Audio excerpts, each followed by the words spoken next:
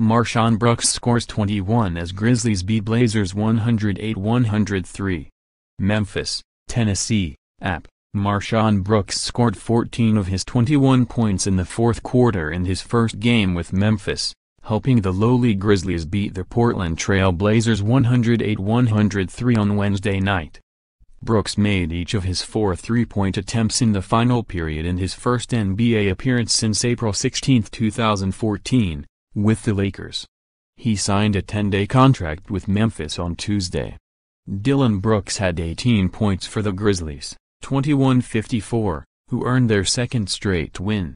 C.J. McCollum led Portland with 42 points and Wade Baldwin 4 added 15 points on 5 for 6 shooting. Baldwin scored the first 8 points of the fourth quarter as Portland, 46-29, stretched its lead to 7 points on several occasions. But MarShon Brooks stepped up down the stretch and Portland struggled at the free throw line in the final minutes.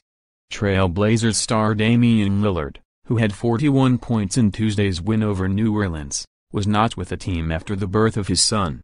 Tipai and his Trail Blazers, played their third game in four days. Shabazz Napier started his eighth game of the season in Lillard's spot. Portland had won seven in a row on the road. The Blazers have scored at least 100 points in 18 straight games. Grizzlies had not won consecutive games since a three-game winning streak from January 15 to 19. Jerome Martin had 14 rebounds. Chandler Parsons scored 15 points. Up next Trail Blazers, host the Los Angeles Clippers on Friday Grizzlies, play the Jazz in Utah on Friday.